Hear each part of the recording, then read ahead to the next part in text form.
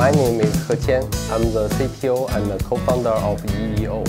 When we first started the company, we see a fact that for a long time, online learning had just been watching recorded videos or teacher delivering classes via instant messaging applications or remote conferencing tools, which are not typically designed for the education process. It's evolutionary with its no limitation. All the functions, the features, even the layouts are designed to solve multi-dimensional problems.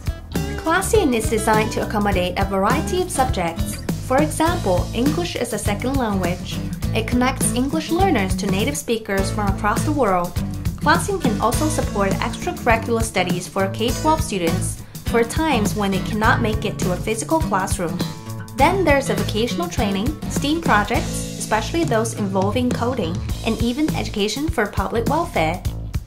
Depending on the educational program's needs, there are different class structures available.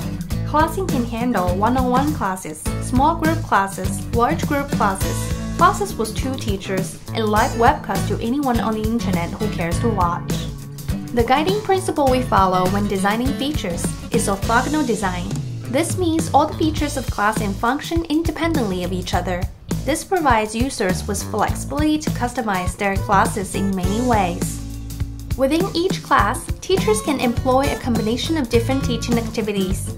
Each single tool can be used alone or in conjunction with others. This kind of flexibility inspires teachers and students to use their imagination. ClassIn has already transformed the way people are learning, teaching, and collaborating online. Entrepreneurs are now using ClassIn to create new educational programs by creating a platform that is simple and easy to use and re-establishing the personal nature of education through face-to-face interaction.